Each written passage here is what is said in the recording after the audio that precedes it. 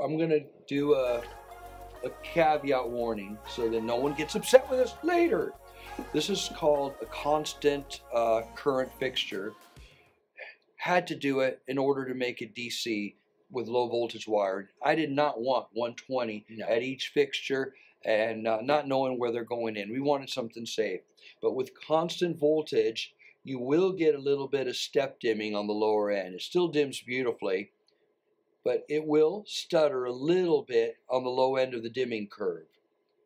Um, Which is normal for any of these. for a lot for a lot of lights. lights, yeah. Well, this type they all do. So we actually uh, had it engineered where it is the smoothest you're ever going to find in a constant voltage.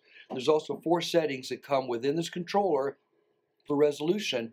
We have found that a low entry price mixer like uh, what is this, Jacob? This is the DMX, operator. DMX operator will respond better with one of the settings. But if you use like when we use our, our ChamSys, which is a high end uh, lighting console, Yes. a different setting on here, seriously smooth. So we let you pick what works better with your lighting console. Would those be called dimming curves? dimming curves uh, and resolution because, like right now, this is gorgeous. Yeah. It's not even doing at the very low end it's stepping. But here's what's nice: uh, very few people are going to dim over a 10 minute period. It's Yeah. it's it's on, and you bring your light off. On, your light is off.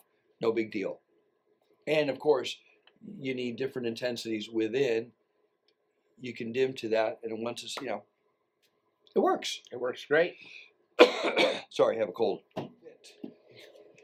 Well, I mean, think about it. What other light can you make work that has DMX control and is low voltage? You can't. Even the stuff they sell at Home Depot, they still got some depth to them, Yep. and they don't dim pretty. They have that crazy stepping on the, the bottom end. Oh, and some of those lights, almost all of them actually, what happens is as you're dimming, you get down like 20%, it goes off. It just yeah disappears. And then when you start dimming up, it will not power on until it has enough voltage to tell it it needs to come up, and then it pops on. So it's not a. This is this is the perfect alternative at a price point that you can afford. If you're rich and you have tons of money, then you can go ahead and get the other one. now is this how does this compare to the zero to ten that I Oh. hear you complain Oh. about all the time? Zero to ten volt dimming. Oh gosh, they still keep specking this stuff. What happened was here, quick history. If you love history, uh, within archi- this is architectural. We live in this theatrical stage world, but in architectural lighting, you had uh, your your traditional dimming. You know, massive dimmers, and you had incandescent lights. Well, what happened is all the energy. Uh, Mumbo jumbo uh, gurus started to say, We've got to save energy. And so they came up with fluorescent lighting. And then people said, I want the fluorescent lighting to dim. Sorry, we can't dim fluorescent lighting. And so they came up with 0 to 10 volts, where you added some low. I know that was dumb. I'm just trying to figure out what the accent was. What what Stupid people telling you you can't have what you want, you know? so it's the So- stupid accent. It's a stupid accent. So they put 0 to 10 volt dimming and fluorescence. So uh, here, I'm going to do with hand motions the dimming. So it's 100%. My gosh, I came all the way down and still at 70%. Barely saw any dimming. Okay, now it's like at 40. It's off. Wait a minute. I still got this much fader room. Okay, okay, it was lame. Is but- it choppy? Oh, what do you think? Man. I, I, you know, I was trying to read your mouth choppy. noises. but- Okay, choppy. It was horrible. All right, but that's understandable because fluorescents were never meant to dim. Mhm. So what happens? LED lights came along. Well, architects and, and engineers specking stuff out for years. If you're an engineer, forgive me, but it's the truth. You cut and paste from project to project to project instead of uh, researching what's new and best for your clients. I hope they learn Because it's this. easy. Yeah, they cut and paste. So what they did is they started going zero to ten on LED. So you had this beautiful fixture that is able to do a zero to 100, 100 to zero uh, percent uh, dimming curve. Gorgeous. Oh no, let's control it with zero to ten. So it's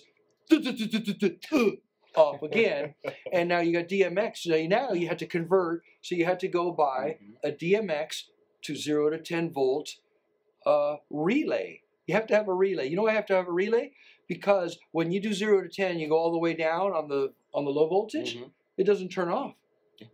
It, it's like There's still electricity. it's still on. So at you tell it at, at a percentage to click off. That's why it just clicks off. Lame. So anyway, uh, DMX, all those lights, the expensive ones, you can also order them with DMX now, and DMX will give you that beautiful curve.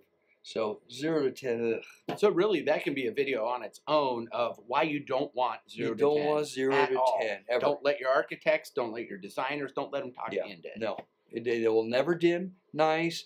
Oh, we have some churches that Yeah, that didn't oh. head our advice, and they're like, should And listen to you. spending a fortune. Yeah, we have replaced some. Some Yeah. new lights. They had the money and they were frustrated. We took out all new lights, put in uh, DMX dimmable lights. Um, And it's a big so difference. happy now. yeah, it is a big difference. So, no, say no. It's like no to drugs. Say no to zero to ten. No, and that's our camera there. We keep looking here, but that's our camera there.